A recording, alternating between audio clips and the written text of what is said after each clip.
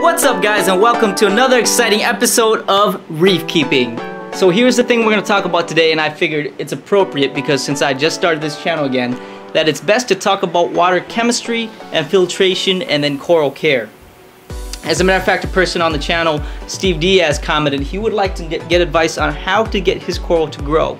So the number one thing that I would recommend about this, going in this hobby, is researching the parameters. The number one thing that I found useful is having one of these. You see this? This is a reference card, so just in case every water change or every, you know, chemistry or water check that I do, I run through and I make sure that my temperature is on point, my salinity is around that range, pH is around the range, alkalinity, calcium, magnesium, phosphate, and nitrate. Now, you know, ever since I've had the tank up for more than three months, I don't check for nitrates anymore. And I usually check it when I start seeing corals don't open or they have issues like that. Then I'll go back and check it. But once you get up and going, it's a lot easier to, to maintain. So once you get this reference card, the second thing that I found is helpful is to get a controller, okay? Your controller does a lot of work for you. What it does is it maintains the temperature at the right range. If it's too hot, the fan kicks on. See that right now? Fan's on. If it gets too cold or around the range that you want it to turn off, it'll turn off. Alright? Another thing to invest in is a doser. Now this, this thing is way too bright at night, so I just cover the LED up. But this is the DP4 Jebao, and I will certainly do a review if you guys want me to. Comment below, let me know. But this is a very, very helpful device. Before I had this, I was dosing manually by hand, and by manually, I mean, let me try to find here the tube for you.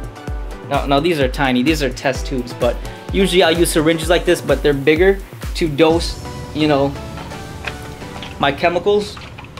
But now that I've had this, I pretty much don't have to ever, ever, oh man, this thing keeps falling down.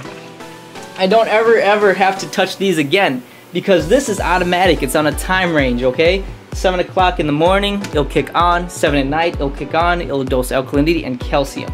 Okay, here you go. So when I started doing this before I had the dosing pump, I was doing this manually and what I noticed was that sometimes I wouldn't be home or sometimes I would forget or sometimes I would be late. So my, you know, chem chemistry would always fluctuate and it would always be all over the place. But ever since I've, you know, bought one of these for $70, I've never ever had to worry about that anymore, okay?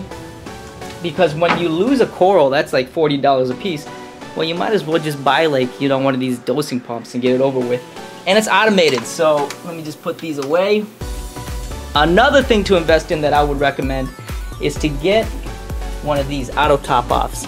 If you don't have one, look into getting an auto top off auto top off. So the thing with the auto top off is that your water doesn't maintain, you know, it doesn't maintain the same water level all the time because lighting, you know, humidity in the air and things like that causes water to evaporate. So when the water evaporates, salt concentration then increases because now your water volumes, volume is lower than your salinity that is currently in the tank.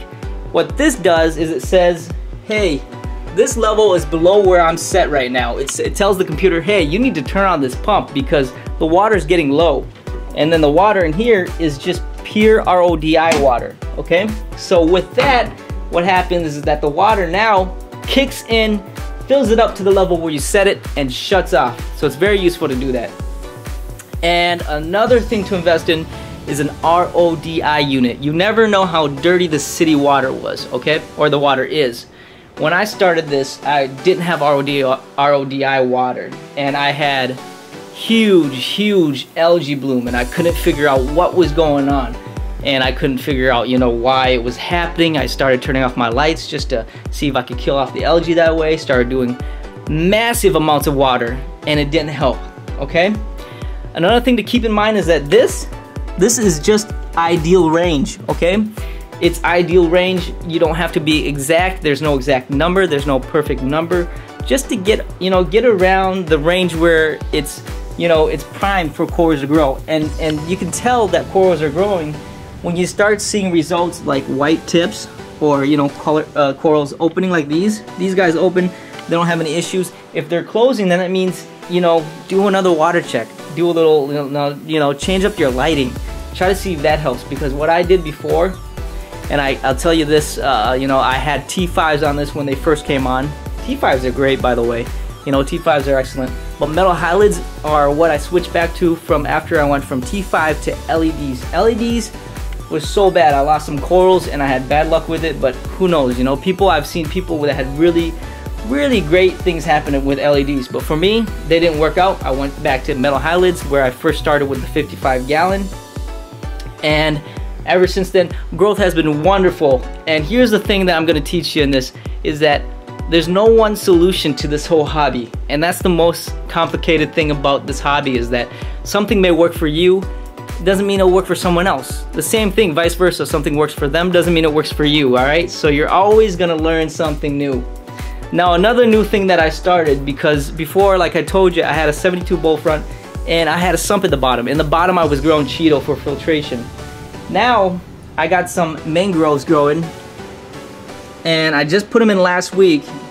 So we'll see how that goes, but it's an experiment you know, my water isn't that bad right now, and I'm actually starting to do water changes only, you know, once out of three weeks because I've noticed that, you know, I haven't, ever since I started dosing, this stuff is still growing my corals and I could still save on, you know, changing salt water. So I figured, why not, you know? I'll just use RODI water instead of brewing a new batch of salt. But I'll tell you some problems that we all face in the hobby. You know, we have these hair algae, and this is this is where I think these things can be avoided because once you spot these problems, take care of it. Do a water change, take this coral out, and literally get a razor blade and cut off all the hair algae that you can. And you know what? It's not going to be perfect, but try to get as much as you can out of it. Also, if you notice in the back wall, I have a bit of bubble, uh, was it bubble algae. Now I had that issue before and it was worse than this and I started picking it out but with my own hand just make sure you don't pop the bubble because I think there's some chemical in there that may cause it to grow back after you, you get it out of the water. But the number one thing that I noticed, uh, you know, I've gone to other people's tank and they have excessive hair algae or bubble algae is because they lack maintenance. They lack, you know, maintaining that stuff. So I'd recommend just check up on it, do your daily or your weekly routine, and always just, you know, make sure if you see the pest, take care of it before it spreads. Anyways, that's all I got right now. If you have any more comments or any advice, make sure to post below. Also check uh, Steve Diaz channel out. Give him advice if you have any idea. Uh, as always, like, subscribe, share, and thanks for joining me. Till next time, see you guys later.